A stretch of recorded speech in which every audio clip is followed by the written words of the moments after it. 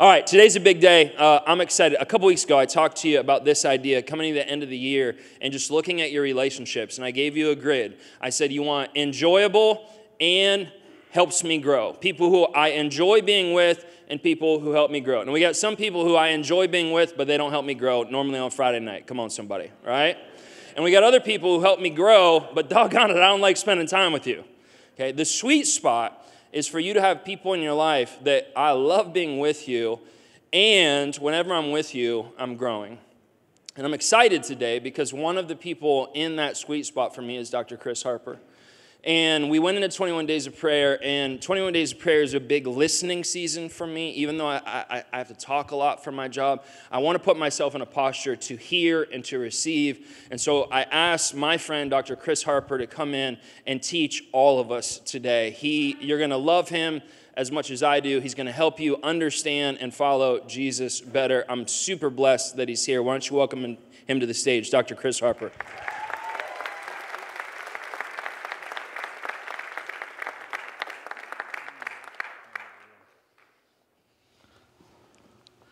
Let's go. My wife texted me this morning from Texas. There's a massive cold front in Texas right now. It's 30 degrees.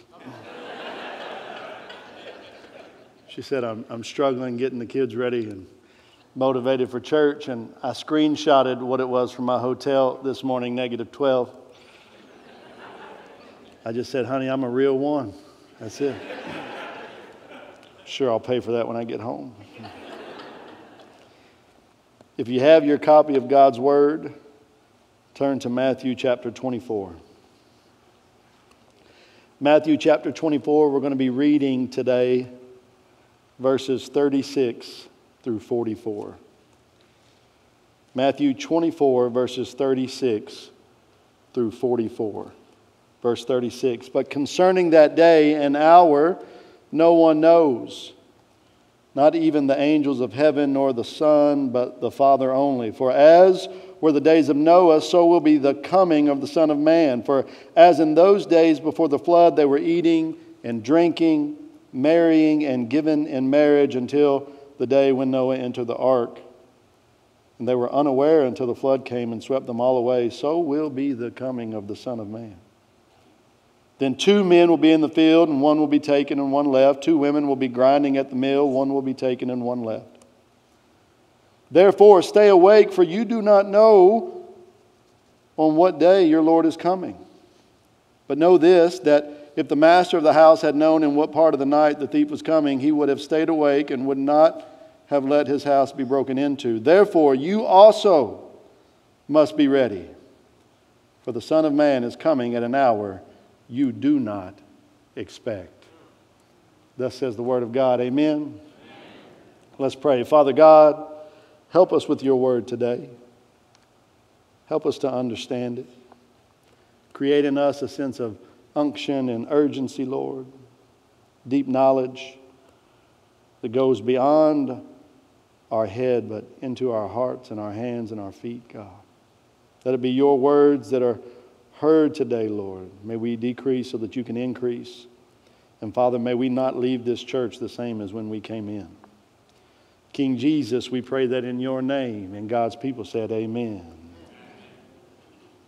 So in the year AD 66, Judean rebels led by a man named Simon Bar Giora, they went to Rome to go to war. They went to, to war with Rome.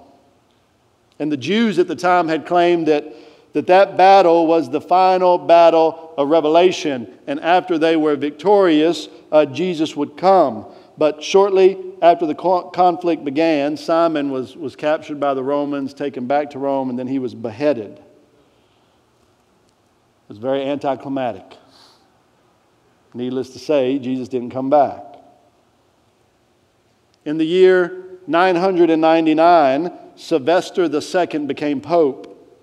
And he predicted that Jesus would return um, at the millennium, the thousandth year mark. So on New Year's Eve, people rioted in the streets.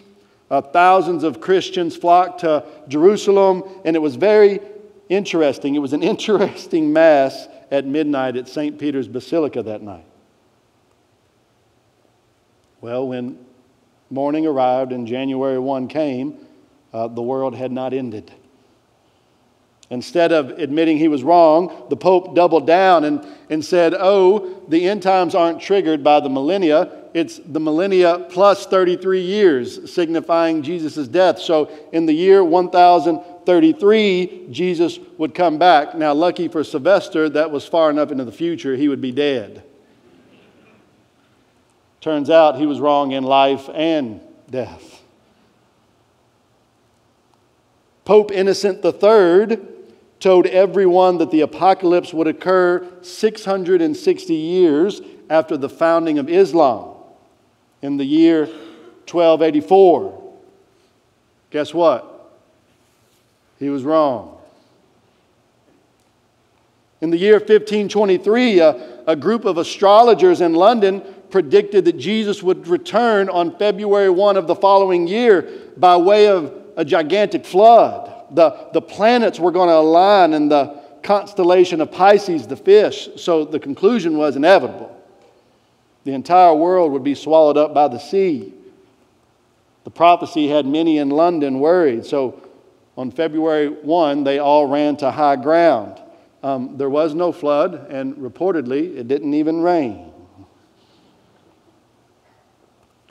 In 1806, Mary Bateman put the world on notice when her hen began laying eggs that were carved with the word, Christ is coming. It was the first Chick fil A.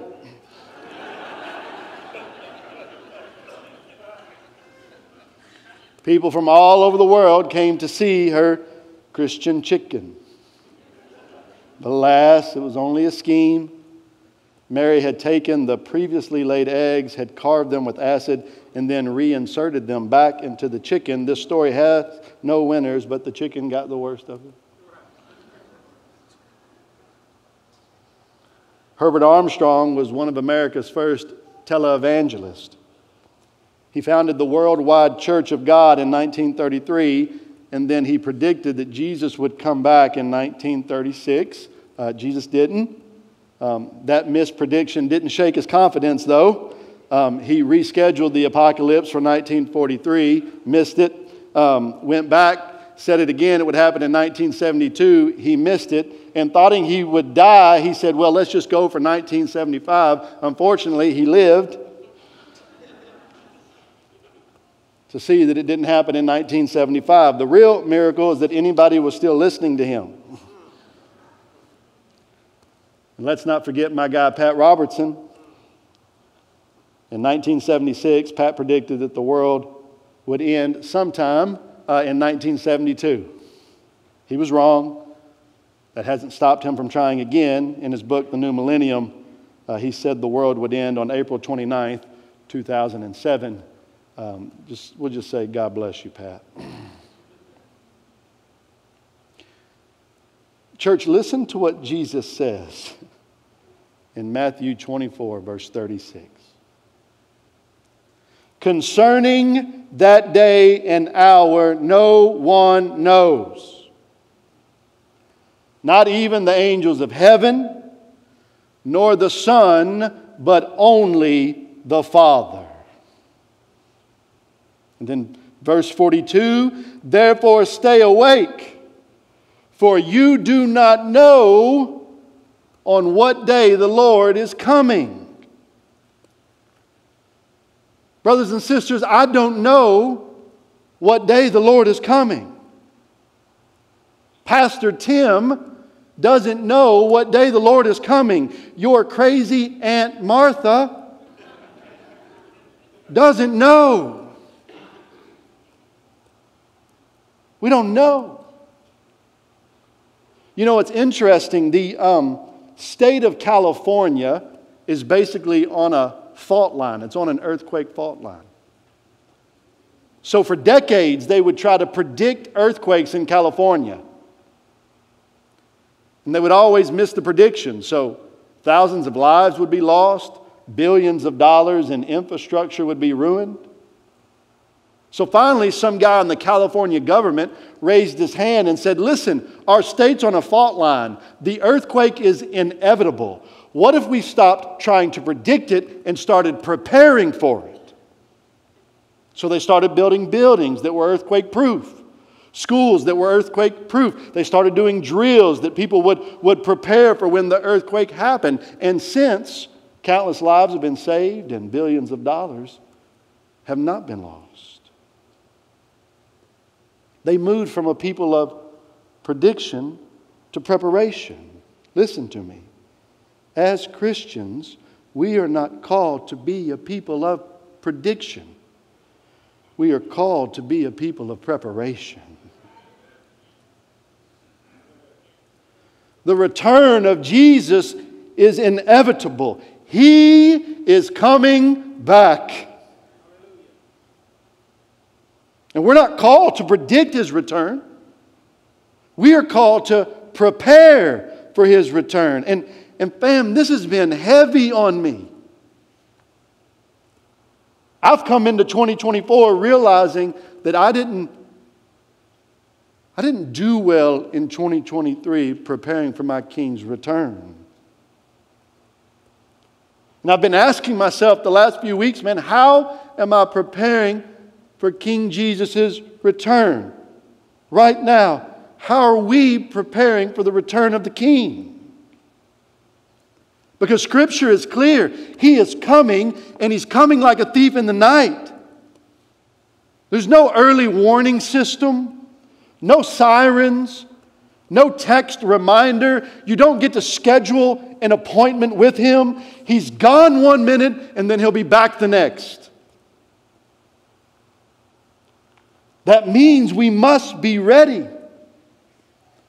Jesus says in verse 44 of our text, be ready, for the Son of Man is coming at an hour you do not expect. You don't know. You won't expect it. So you've got to be ready. Allow me to share a little wisdom from a modern day philosopher, uh, Conor McGregor.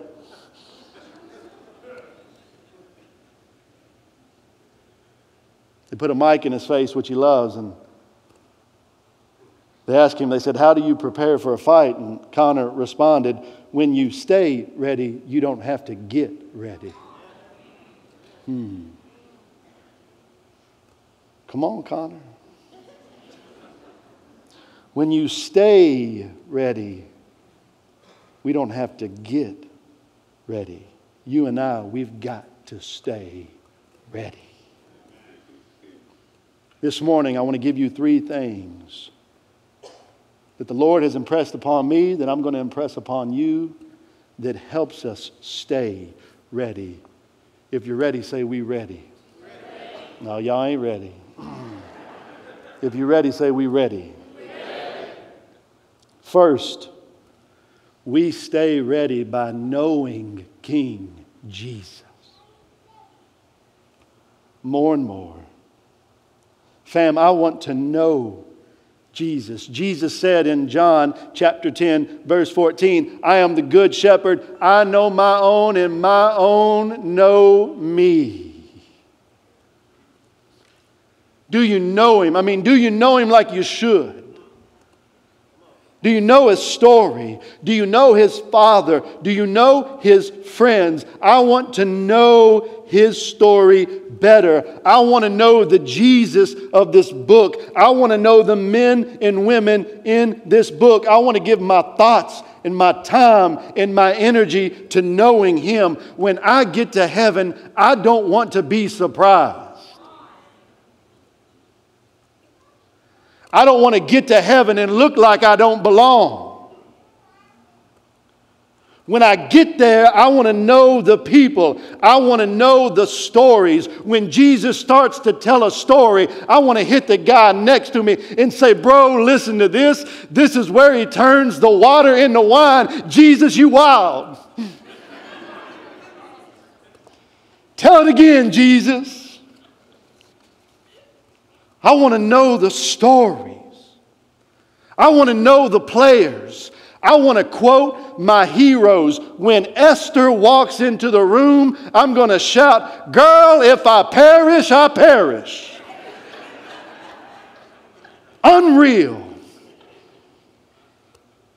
I want to walk up to Joshua and say, As for me and my house, I've got that tatted on my arm.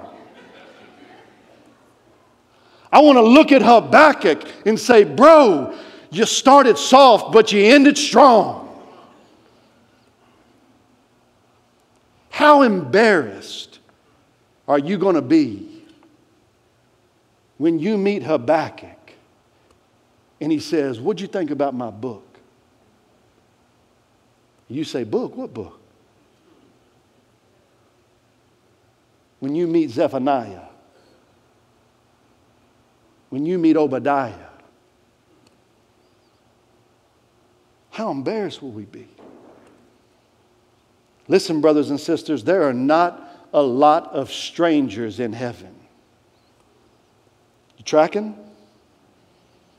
People who make it to heaven are people acquainted with heaven on earth. You can't know Jesus, you can't know God if you don't know His Word. If you don't know the Bible. Think about this. Most professing Christians, professing Christians, pick up and read their Bible less than one time per month. Think about that. There's almost 700 hours in a month. And you read your Bible less than 30 minutes a month. And you think you know God. No. I mean, you know the score of last night's game. You know how cold it was this morning. You know when the next season of Yellowstone drops. But you don't know God, His Son, his Spirit. You can't, not unless you're willing to invest time in this. You got to put in the time. We prepare for Jesus coming back by, by knowing His Word. There's something that I've practiced for years. I call it Bible schizophrenia. I coined that. It's not super popular. But every time I read the Word of God, I'm reading it as one of three people. This is what helps me know Scripture. Every time I open up this Word, every day, I'm reading this Word first as a son. My dad wrote me a letter. My father wrote me a letter. Your father wrote you a letter that has promises and it has principles and it has sin and danger to avoid, and you need to read that letter. He wrote it for you and to you. You need to read it.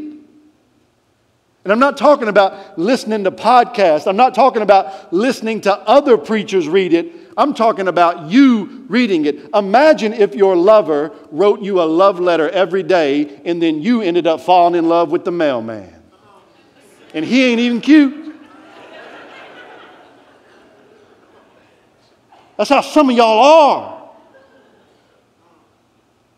No, no, no, I want to read the letter. My father wrote me a letter. Your father wrote you a letter.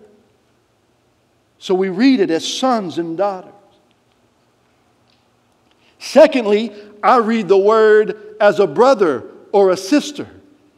I read the word in community with others. Iron truly does sharpen iron. There are things that you see in the word that I might miss, and there are things that I see in the word that you might miss. And when we're reading in community, we grow in the word. So I've got a group of people that I read the word with, that I can text the word to. Tell me what you think about this. What did God mean here? What should we say to this? Because I'm in community with other brothers and other sisters digesting His Word. So I read it as a son, and I read it as a brother, and lastly, I read it as a father, or you read it as a mother. Every day I read this word, and I'm looking to deposit one thing that I can pass on to someone else. One truth, one scripture, One word that I want to deposit so that when my children come to me, when my wife comes to me, when my neighbor comes to me, when my coworkers come to me and they need truth or they need guidance or they need advice and I reach down into my account, it doesn't say insufficient funds. There's something there that I can pull out and give away. Some of you, in the next two hours, in the next two days, someone's going to come to you and they're going to need to hear from God. They're going to need a truth. They're going to need a word, and you're going to try to make a withdrawal, and it's going to come up insufficient funds. No. I read it as a son, as a brother. I'm reading as a father because I want to I want to pass it on to someone else. Brothers and sisters, if we want to stay ready, we've got to know God's Word. I love what Dr. Howard Hendricks said. A Bible falling apart usually belongs to someone who isn't. Hmm. Second, we stay ready by helping others know King Jesus. Matthew 7 14, for the gate is narrow and the way is hard that leads to life, and those who find it are few. I want to say that again. The gate is narrow and the way is hard that leads to life, and those who find it are few. I think as Christians, we get excited, rightly so, we get excited when we find the narrow gate. We want to go in and we want to be with our king. But, but some of us, some of us, we need to stay back and shout, It's over here. I found it. The gate is over here. Hey, listen, that path is broad. It leads to destruction and death, but over here's the narrow gate. I found it. Come look, come see. It's over here.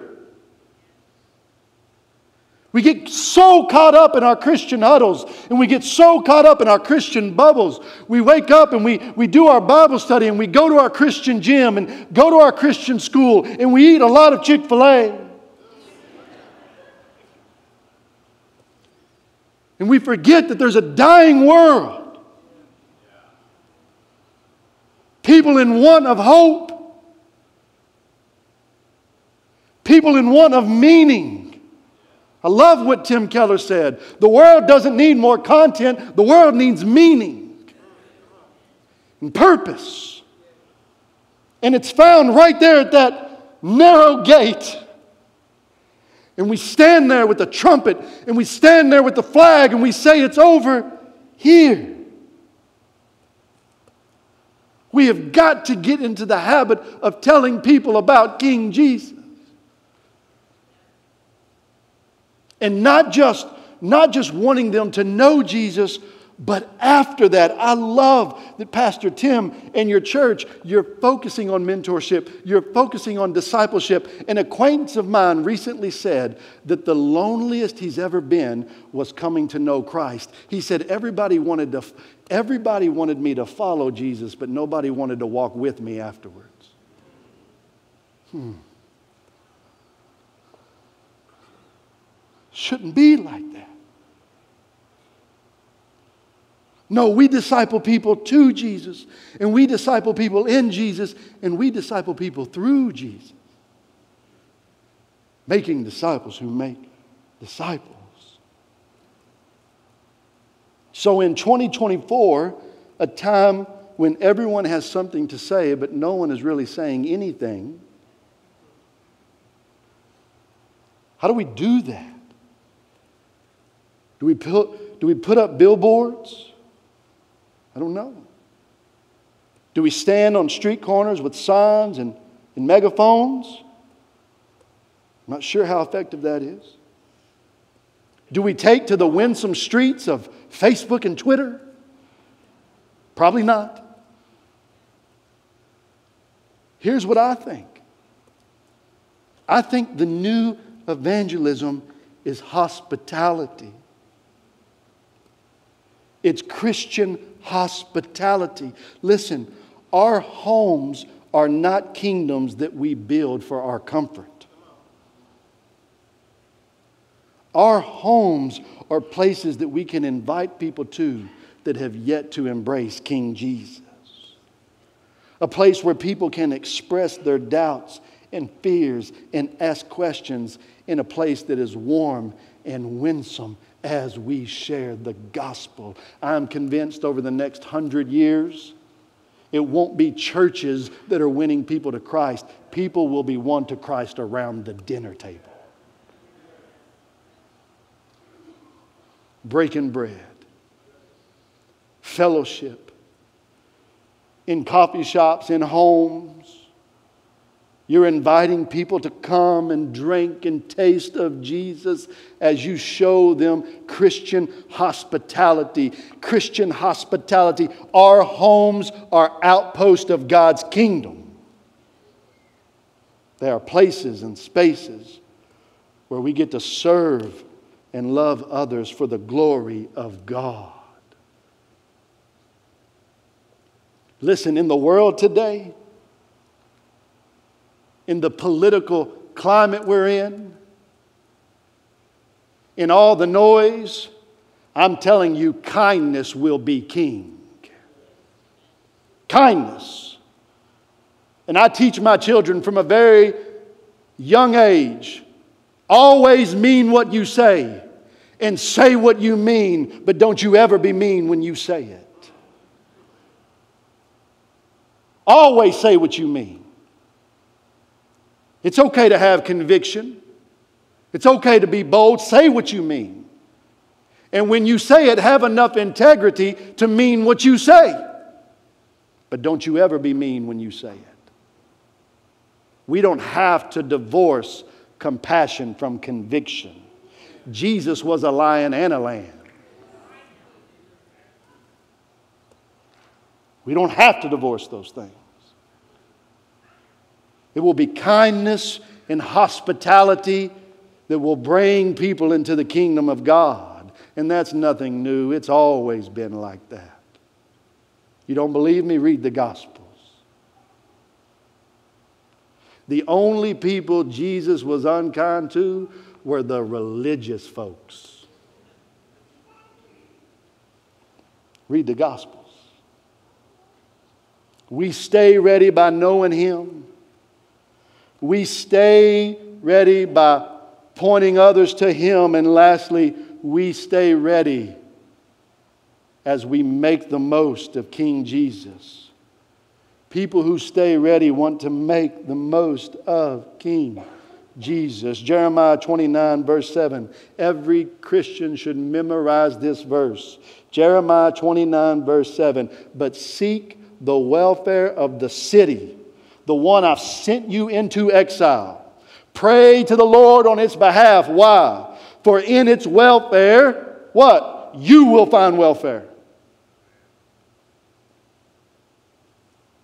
Pray and work and live for the welfare of your city.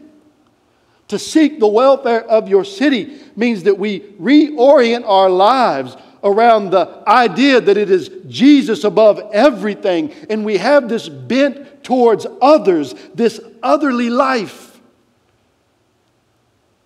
Brothers and sisters, we should remember that we are aliens and strangers and sojourners in a foreign land. And we don't talk like that anymore. Maybe we need to bring some of that language back. Foreigners aliens. We should be a little weird. CNN was recently interviewing Dr. Russell Moore, and they said, Russell Moore, don't you think it's weird that you still hold to a traditional view of marriage? Don't you think it's archaic that you hold to a traditional view of marriage? Don't you think it's weird? And Russell Moore looked at her and said, Oh, honey, we believe in stuff a lot weirder than that. It gets real weird. We think a previously dead guy's coming back on a horse to take us home. We should be a little weird. We, we are not Americans first and foremost. We are Christians who happen to live in America. It is not Western principles or Western ideas that govern our lives. It is God, His Word, and His Spirit that governs our lives.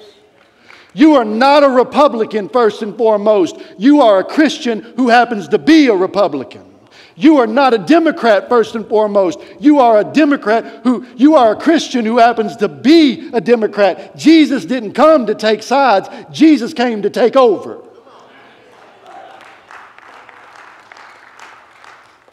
To take over. Before your children were your children, they're God's children. Before your wife is your wife or your husband is your husband, it's God's son and God's daughter. Before that man was your neighbor, your co-worker, your employee, he was your brother. Made in the imago Dei.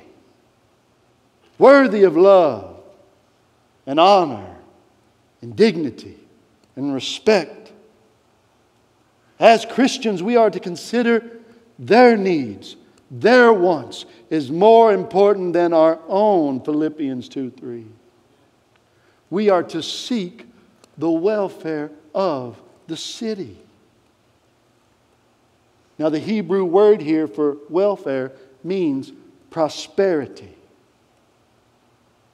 That means the, the city we inhabit, it should be prosperous because of what we bring to it.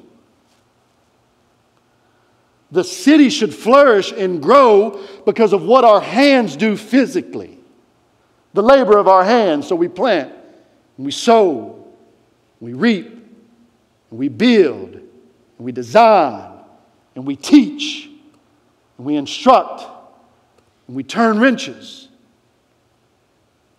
We prosper the city. The city that we inhabit should be prosperous because of what we bring to it intellectually our intellect, our imagination, our creativity. Listen, God is the creator of everything, and you and I were made in His image. We should be the most creative people on the planet. Music, art, theater, dance, we should be leading the way. The city we inhabit, it prospers because of what we bring to it emotionally, our disposition, and our attitudes. We are called to be a joyful people, even in the midst of adversity, even in the midst of trial, even in the midst of loss. We can say with the Puritans, I love it when God throws me into the cellar of affliction because it is there that He keeps His best wine we drink deeply. We are a people of unity, not division. We are a people of peace. Matthew chapter 5, blessed are the peacemakers. That's not a great translation. The original Greek says, blessed are the peace creators. Where we go, we create peace. And sometimes that peace is exercised through mercy and grace and forgiveness. Sometimes that peace is brought about by the hard hammer of God's law.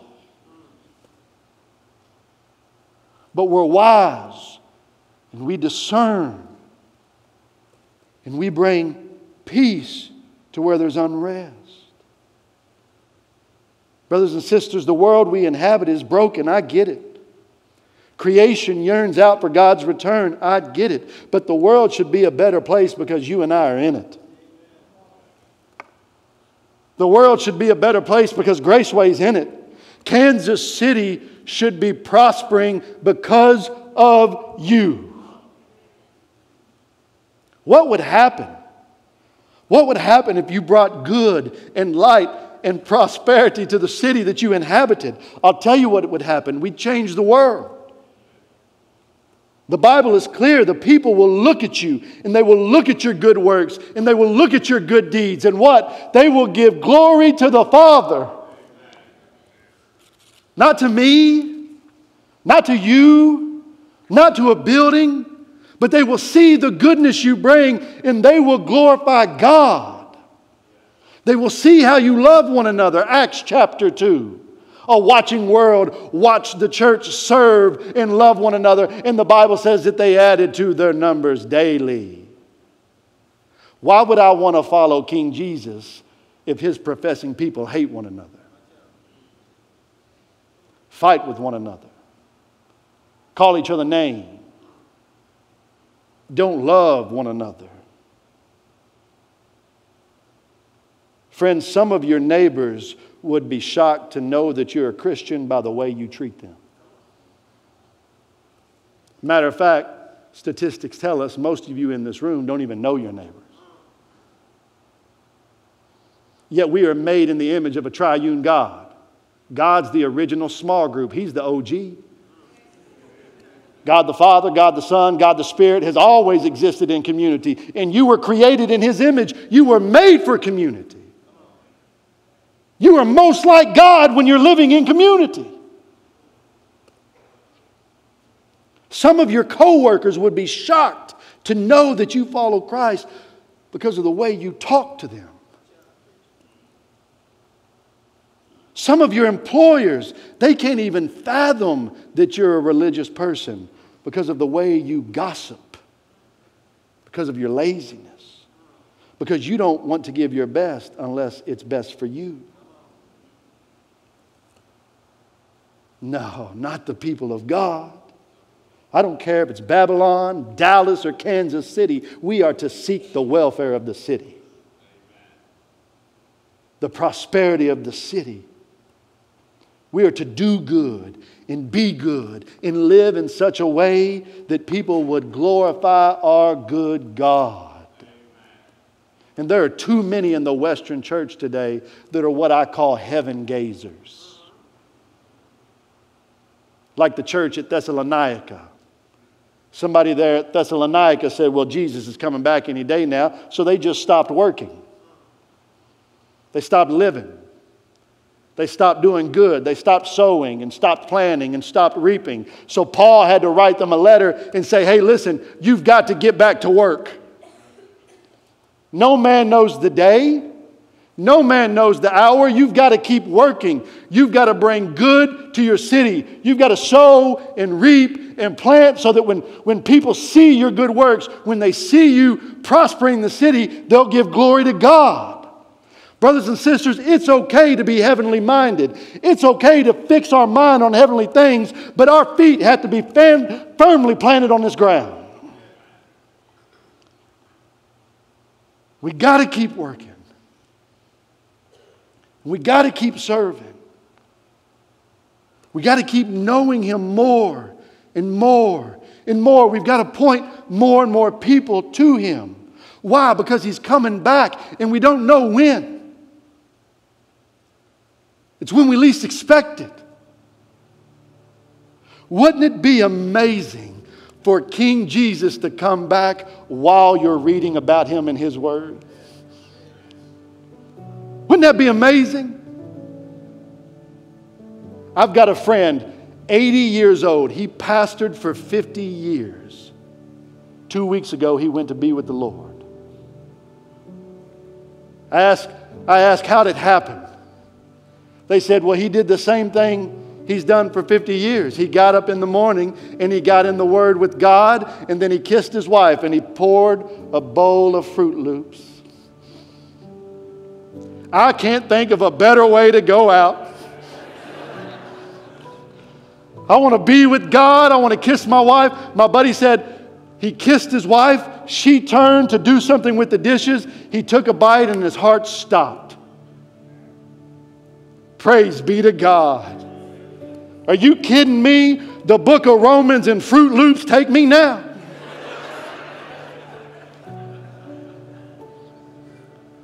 What an amazing way to go. Could you imagine? Could you imagine sharing Christ with someone, sitting at a table and telling someone about the goodness of God, and then all of a sudden you hear the trumpet? Wouldn't that be amazing? Pass the potatoes. Get ready. Wouldn't it be phenomenal that if we're out working in the city, loving the least of these, serving the marginalized, being a voice for the voiceless, serving our employer well, loving our neighbors well, prospering the city, and then as we're doing that, Jesus comes by and he puts his hand on your shoulder and he says, That's enough. Enter into the joy of your master. Well done, good and faithful servant. Oh, I can't wait for that day. I hope when he comes back, I've got a plow in my hand, not a remote. Oh, let him come back. Let him catch me learning about him. Let him catch me telling somebody about him.